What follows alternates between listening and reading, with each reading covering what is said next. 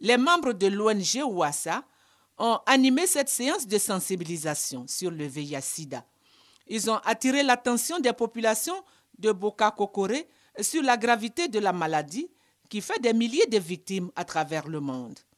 Aux jeunes et aux adultes, les animateurs de cette séance de sensibilisation ont demandé d'éviter d'avoir des partenaires multiples.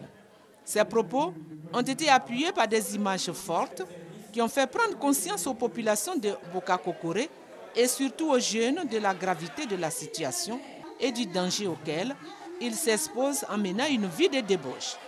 À la fin de la séance, un lot de préservatifs a été remis au comité local de lutte contre le VIH-Sida qui a la charge d'étendre cette campagne d'information et de sensibilisation à l'ensemble de la population de Boka Kokore.